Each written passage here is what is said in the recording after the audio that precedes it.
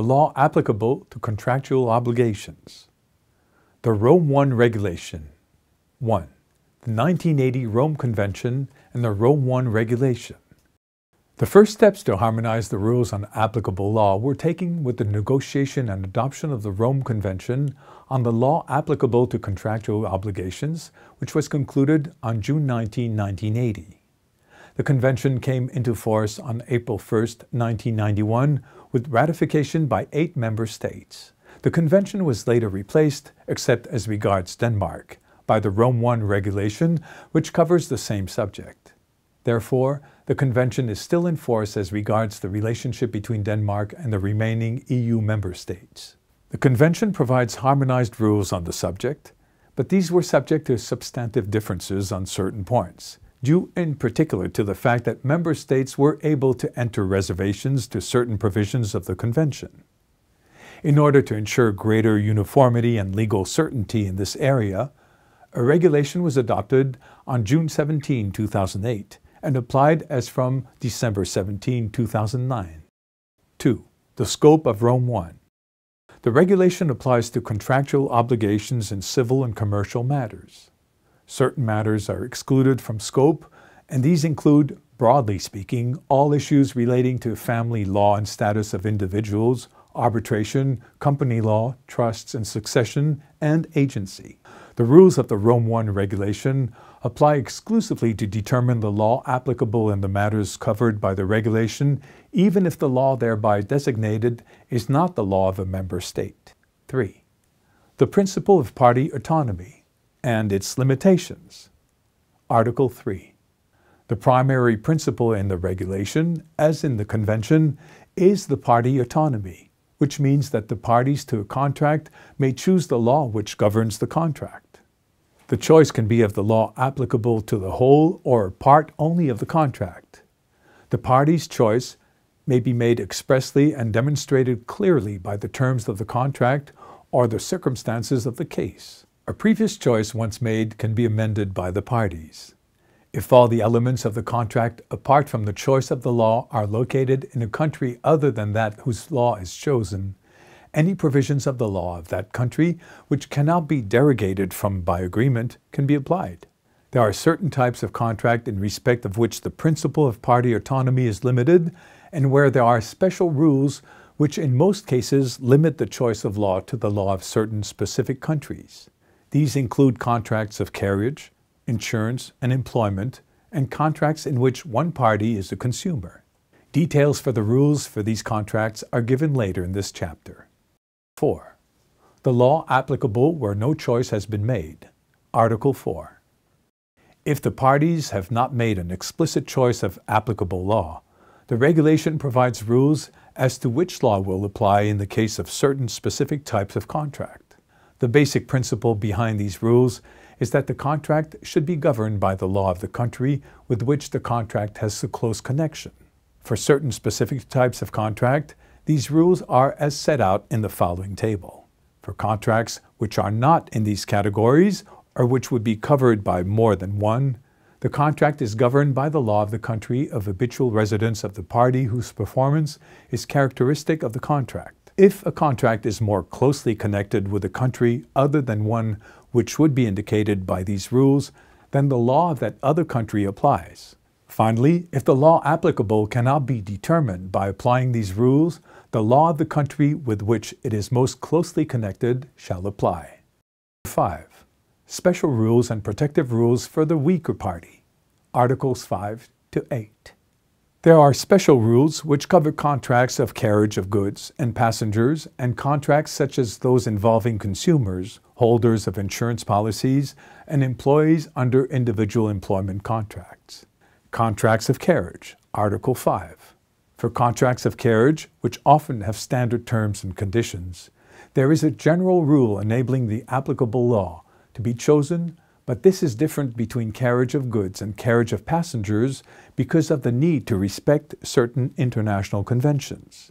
For carriage of goods, there is an unrestricted possibility to choose the law applicable under the general rules on party autonomy.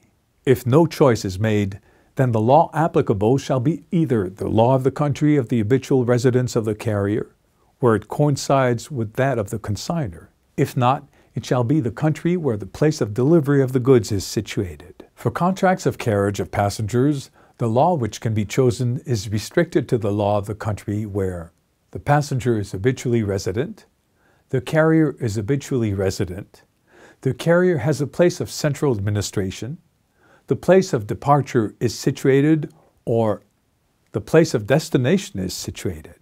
If no law is chosen, the law of the country of the habitual residence of the passenger shall apply if that is either the place of departure or the place of arrival of the journey. If neither of these apply, it shall be the law of the country of the habitual residence of the carrier. Protection of the weaker party, consumers, Article 6. A contract between a consumer and a professional, as defined in Article 6, is governed by the law of the country where the consumer has their habitual residence, if either the professional carries on business activities there or by any means directs such activities to that country. Any choice of law in a contract between such parties cannot have effect if it would deprive the consumer of protections which would be available if the applicable law was the one of the consumer's habitual residence. These rules do not apply in the case of certain contracts for services provided to the consumer other than in the consumer's country of habitual residence, contracts of carriage other than package travel, contracts relating to immovable property other than timeshares, and certain financial instruments. In the first, second, and fifth situations, there may be more freedom to choose the applicable law if the country concerned allows that. If no choice is made in these cases, the law applicable shall again be that of the member state where the risk is situated at the time the contract is concluded. There are certain extra rules where it is mandatory under the law of a member state to enter into insurance contracts and in order to determine the country where the risk is situated, in which case reference must be made in the case of contracts, other than for life assurance, to the Second Council Insurance Directive and for life assurance contracts to the EC Life Insurance Directive. Employment Contracts, Article 8. Employment contracts shall be governed by the law chosen by the parties and, in the absence of a choice, by the law of the country in or from which the employee habitually carries out their work in performance of the contract. Where the law cannot be determined in their way, for example, if the employee does not habitually carry out his work in any one country. The contract is governed by the law of the country in which the place of business through which they were engaged is situated. However, if, from the circumstances as a whole, it appears that the contract is more closely connected with another country, then the law of that country governs the contract. In the case of a choice of applicable law, an employee cannot be stripped of protections arising from mandatory labor law rules under the law which would, in the absence of a choice, have been applicable to the contract under the regulation.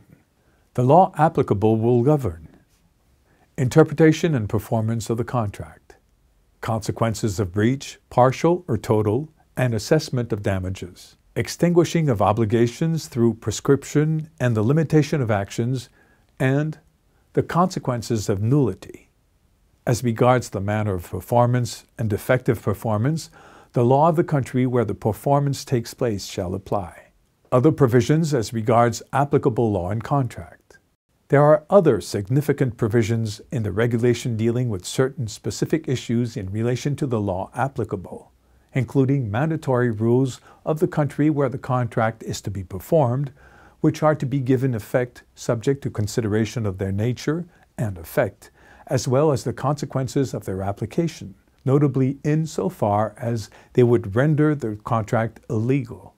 These rules are such as to safeguard the interests of the country concerned and are regarded as crucial for this purpose. Other issues covered by special rules are those regarding the material and formal validity of a contract, questions of incapacity, assignation and subrogation, multiple liability, set off, and the burden of proof. There are rules to indicate the place of habitual residence of legal persons and individuals acting in the course of a business, to exclude the application of renvoi as regards the rules of private international law of any country whose law is applicable under the regulation, to deal with the application of the regulation as regards states with more than one legal system, and the relations with other provisions in EU law and with the Rome Convention.